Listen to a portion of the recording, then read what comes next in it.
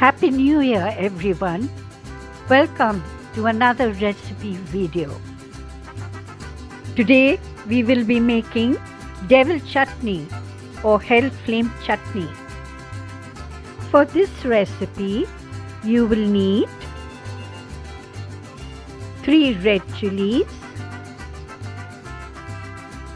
1 onion, salt to taste, sugar to taste,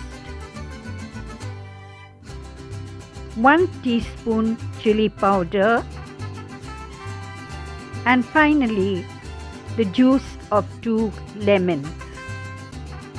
First we will start by soaking the red chilies for 15 minutes in a cup of water. Make sure to remove the seeds.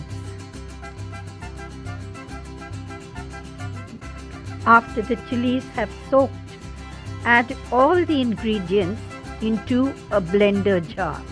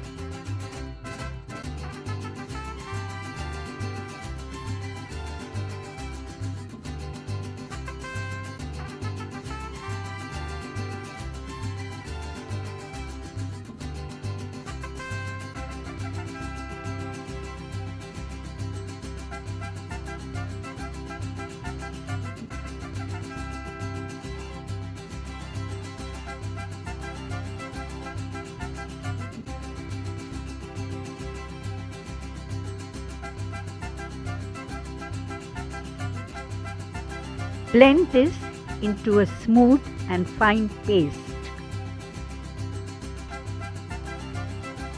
And there you have it, devil chutney, also known as hell flame chutney. You can enjoy this spicy chutney as a dip for chips or as a condiment with pulavs, fried rice and biryanis.